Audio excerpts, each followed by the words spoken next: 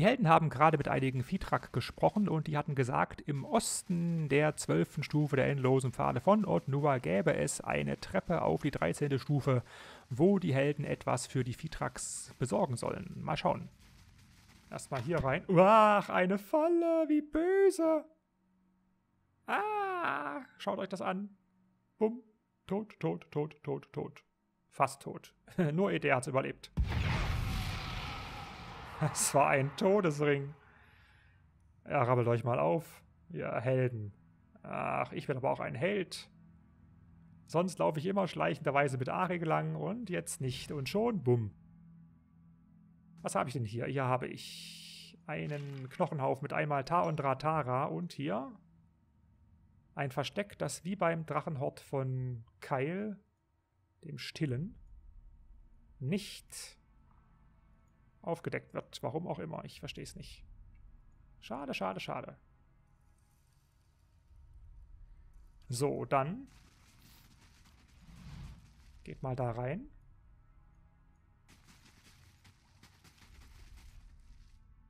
Plötzlich spürst du in deinem Kopf einen scharfen Schmerz, auf den direkt eine barsche und fremde Stimme folgt. Ajik, Kaletua Ar, Nae, Mensch, Vasti. Die Kreatur macht ein eigenartiges, klapperndes Geräusch, bevor es abermals in deinem Verstand zu dir spricht. Ich nenne es Eindringling, Mörder, Herumlungerer an hellen Orten. Wo geht es hin? Geh mir bloß aus dem Weg, sonst kannst du mich auch noch Spinnentreter nennen. Oder nette Spinne, schlau. Wahrnehmung und Entschlossenheit ist nicht genug? Schade. Hm. Tja. Arik sagt, nette Spinne. Es hat gute Augen. Die Kreatur sieht zu dem großen Elfenbeinbiest neben ihr hinüber und stößt einen kurzen, scharfen Pfeifton aus. Sie mag Schmeicheleien, süße Worte zum Würzen des Blutes. Ach, Kestorik. Da bist du bei Arik genau am richtigen angelangt. Alle greifen hier mal an. Ah, da sind noch ein paar mehr Viehtracks. Das ist ungünstig. Aber hoffentlich nicht unmöglich. Bitte hier einmal Flammenwand. Jetzt, nicht erst irgendwann. Segen. Äh. Segen. Segen hat einen größeren Kreis, das weiß ich. Sagani. Setze dein Mal auf Kestorik. Was war denn das? Itomak bewusstlos. Alot wurde auch irgendwie... Oh, jetzt kommt die Übernahmewelle hier. Oh, oh, oh, oh, oh. Gar nicht gut. Was mache ich denn jetzt? Ah, die müssen weg. Schuss. Arik, wo bist du? Stehst da irgendwo? Attacke.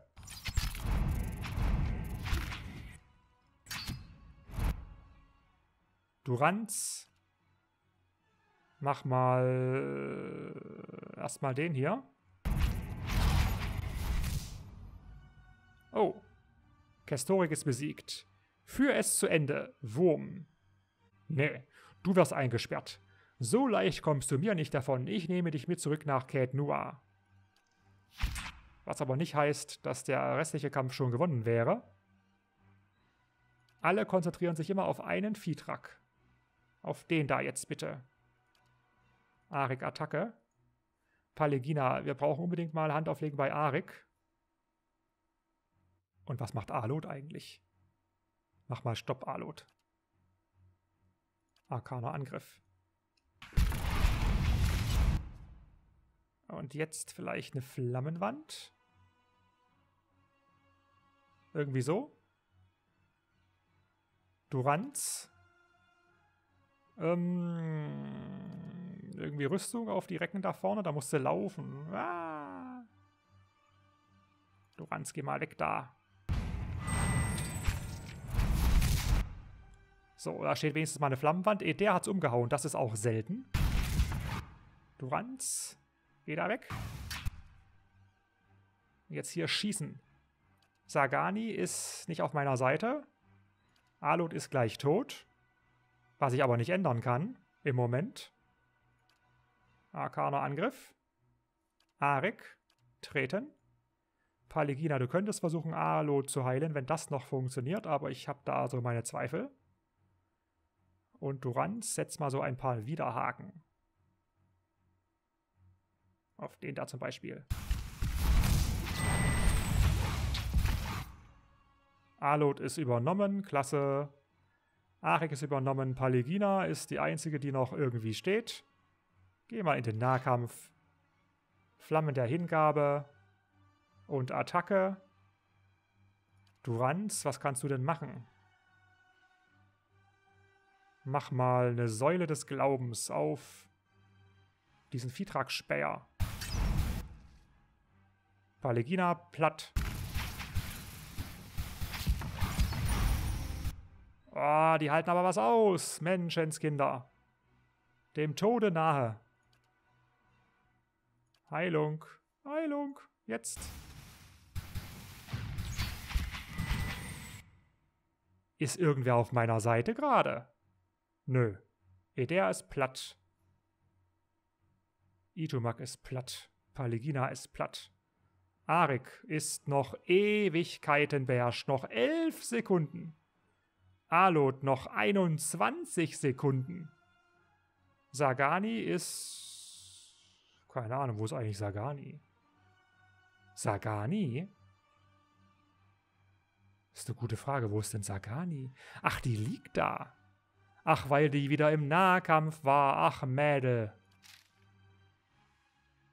Duranz, hol mal so ein paar Käfer her. Ja, zu spät. Der eigentlich tote Vithrakir, der macht noch einen Riesenschaden. Jetzt ist er tot. Und Sagani, wie lange liegst du eigentlich auf dem Arsch? Noch? Keine Ahnung, weiß ich nicht. Sehe ich nicht.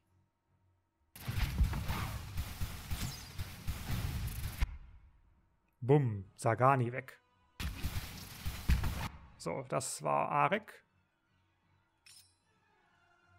Holen mal ein bisschen Verstärkung. Und dann... Tja, Das bringt ja nichts, oder? Attacke. Ach, der ist jetzt weg.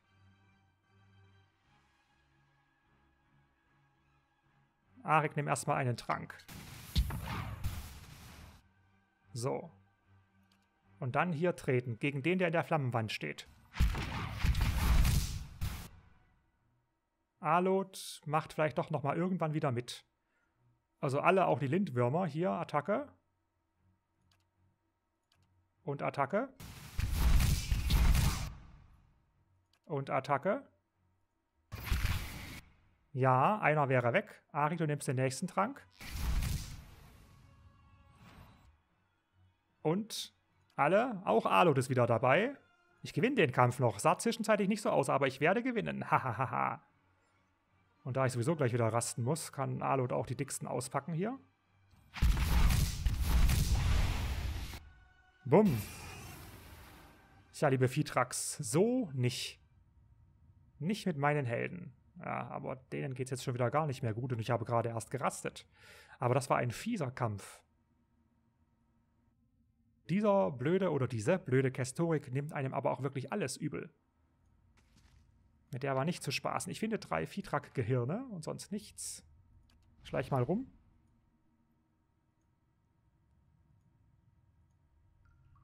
Und hier habe ich dann die Treppe zur zwölften Stufe, nein, zur dreizehnten Stufe der endlosen Pfade von Odnua. So, hier ist nichts mehr offenbar. Karte.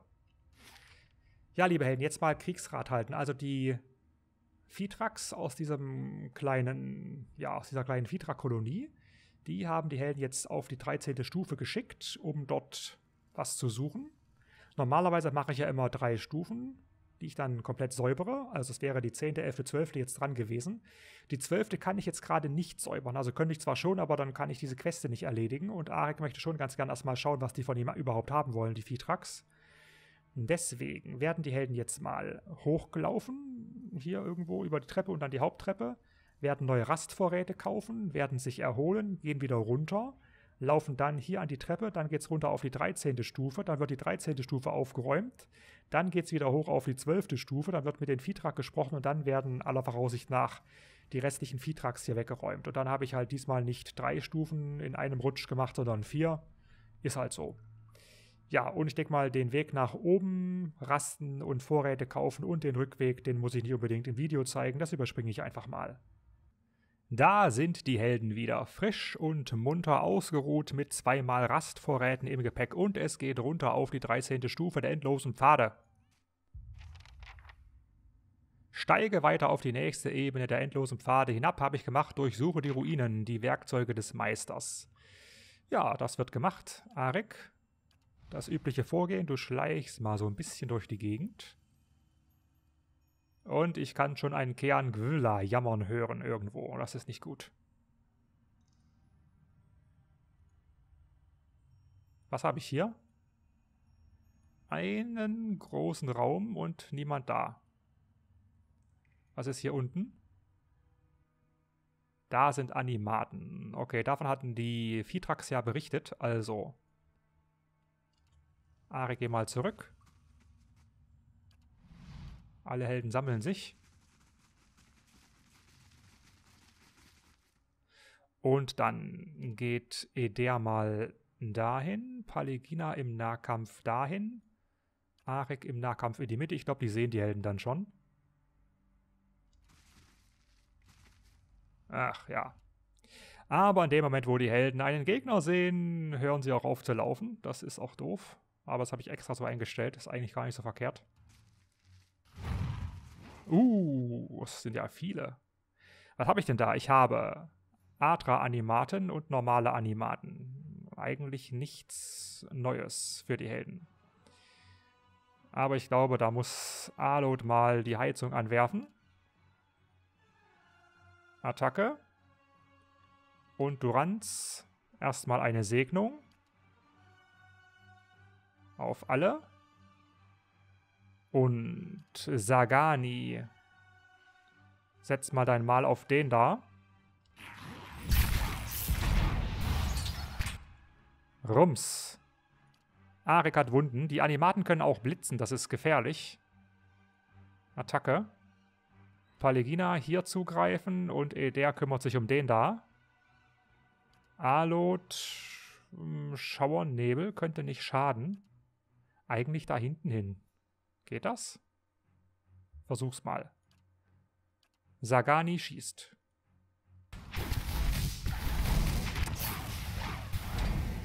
So.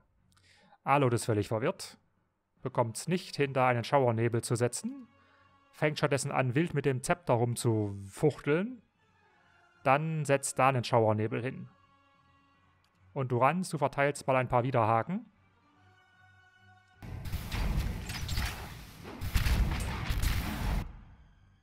Und Alot, arkaner Angriff. Und die nächsten Widerhaken bitte auf, tja, auf den da. Arik tritt bitte.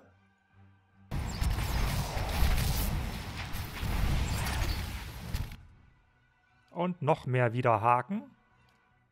Zum Beispiel auch auf, tja, auf wen? Auf den hier eigentlich? Da hat es gar nicht geklappt, wie es aussieht. Arik tritt weiter. Alot, arkaner Angriff. Bumm, einer ist weg. Durch Alot. Okay. Wie auch immer Alot das geschafft hat. Dann brauche ich vermutlich hier mal so ein paar Geschosse allmählich. Ja, Sagani, schießt du immer noch auf den Dicken. Mach das mal. Duranz, schieß mal mit.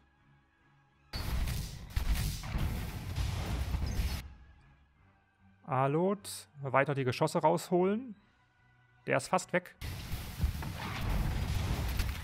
Oh, der ist weg. Und jetzt auf Äh, den da. Arik treten, unbedingt. Und weiter treten und Alot weiter feuern. Oh, Palegina läuft durch. Oh Mann. Ist jetzt gerade einer weggegangen? Nee, aber der ist doch knapp davor.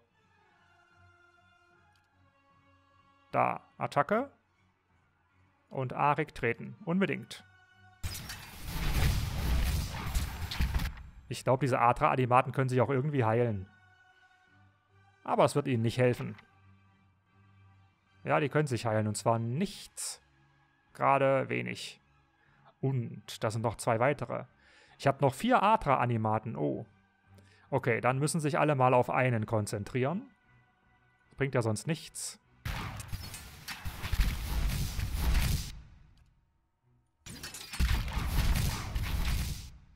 Und feste drauf.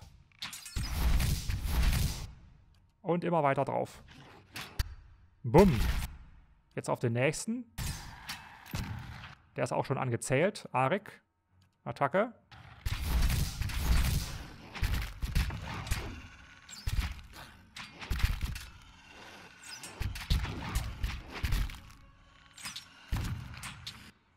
Und weg.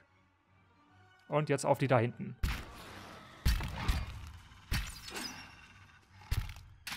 Die sind leider noch völlig frisch.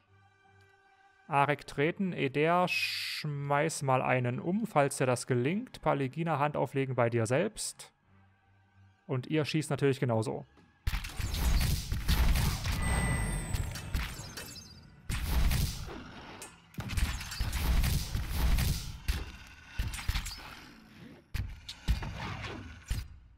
Kommt, legt ihn um. Bumm. Und der letzte. Arek treten.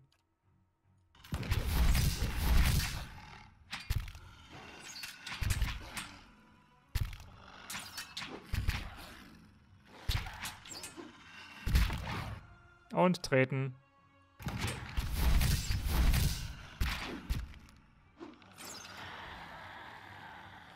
Ja, die haben schon was drauf. Oh, Geister. Ja, aber eins nach dem anderen. Erstmal plündern. Ich finde zwei engvitanische Dolche, zwei engvitanische Schilde, zweimal erweckten Atra und zweimal zerschmetterte Animate-Rüstung. Und hier oben ja, das gleiche in veränderter Anzahl nochmal und drei Kupferbindungen. So. Geister.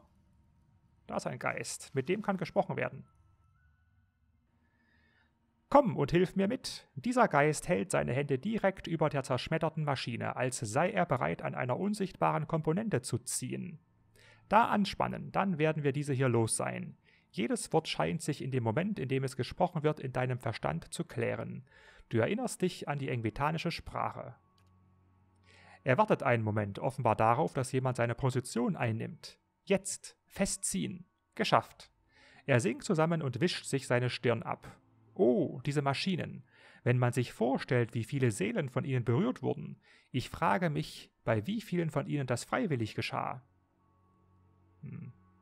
Ich glaube nicht, dass der Geist in irgendeiner Weise bemerkt, dass Arik da ist, deswegen schweigen.